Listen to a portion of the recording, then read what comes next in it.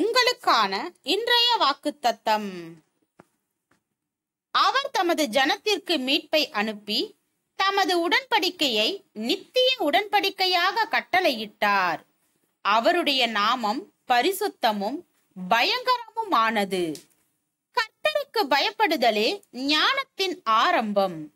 அவருடைய கற்பனைகளின்படி செய்கிற யாவருக்கும் நற்புத்தியுண்டு. அவர் புகழ்ச்சி என்றைக்கும் நிற்கும்.